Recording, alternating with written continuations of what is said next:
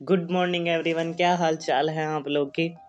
तो fifth part of Badrinath में आपका स्वागत करते हैं।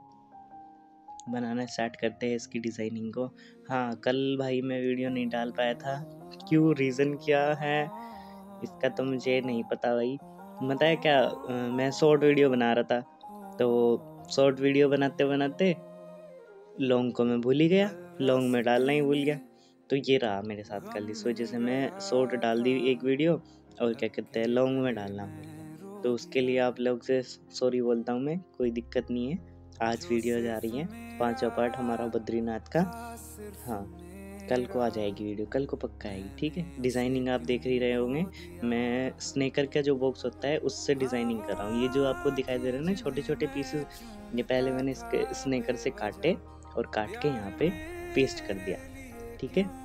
आप अगर बद्रीनाथ को देखोगे डीपली तो वो इसी तरीके से उसमें डिज़ाइनिंग हो रखी है और ऐसा ही वो दिखाई देता है आप लोग को, ठीक है?